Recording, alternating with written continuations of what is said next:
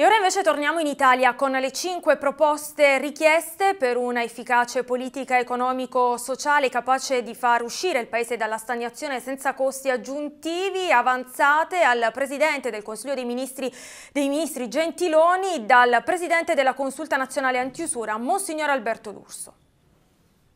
Le 29 fondazioni antiusura a nome del presidente della Consulta Nazionale Antiusura, Monsignor Alberto D'Urso, hanno scritto al governo Gentiloni per chiedere un incontro ed esporre le cinque proposte per un'efficace politica economico-sociale capace di far uscire il Paese dalla stagnazione senza costi aggiuntivi e per far evolvere un modello che ha come obiettivo la liberazione delle persone dal debito cronicizzato. Il primo punto riguarda la necessità di stabilizzare il flusso dei fondi a garanzia per gli interventi ex articolo 15, prevenzione ricorso all'usura in modo che le fondazioni siano in grado di programmare meglio l'attività ed estendere la platea delle persone da sostenere. Estensione alle famiglie della possibilità di accedere al fondo di solidarietà per le vittime dell'usura, così come previsto dall'articolo 14 della legge antiusura, riservate ad oggi ai soli soggetti economici e rilevatasi profondamente sbagliata, oltre ad essere incostituzionale, perché con la crisi è ritornata ad aumentare l'usura praticata proprio contro le famiglie, i disoccupati e gli esclusi. Sempre a tutela delle famiglie, introdurre introdurre dei correttivi per rendere veramente applicabile la legge numero 3 del 2012 che ha introdotto le procedure di composizione delle crisi da sovraindebitamento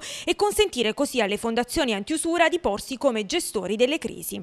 Intervenire inoltre sul fenomeno delle esecuzioni immobiliari che ammontano a circa 560.000 casi, laddove esse riguardano famiglie prive di alternative per ciò che riguarda l'alloggio. Inoltre adottare una drastica limitazione al rischio di esposizione delle persone al gioco d'azzardo e attivare un'effettiva offerta di presa in carico terapeutica, oltre che prevedere delle misure giuridiche per il sostegno alle famiglie in condizioni di difficoltà economiche a causa di uno o più familiari caduti nella rete della dipendenza da gioco d'azzardo.